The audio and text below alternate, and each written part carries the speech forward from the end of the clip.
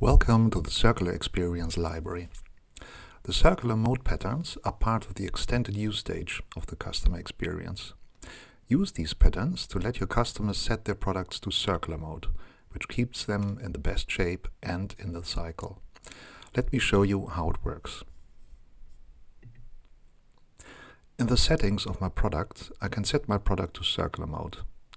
As this is a new concept to me, I look up the explanation. Keeping my product in best shape and receiving notifications for services sounds good to me. So I enable circular mode. I can learn more about certain services.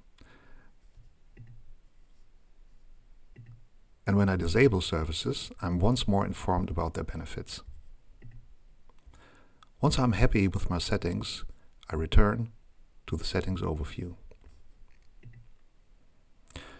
An even better moment to ask customers to enable their products for circularity is right after purchase. It's a feel-good moment. Customers have just spent some time to choose a product and paid good money for it, so they will also be willing to take good care of it. In the circular mode and checkout pattern, I am asked directly after purchase to enable circular mode for my products. I can get background information on what this is about. And after that, simply enable the service and save the digital twins of my new products to my cabinet. Please look up the cabinet pattern and the Save Multiple Products to Cabinet pattern in this section of the library to learn what the cabinet is about. Thanks for watching. Find more resources on circular-experience.org.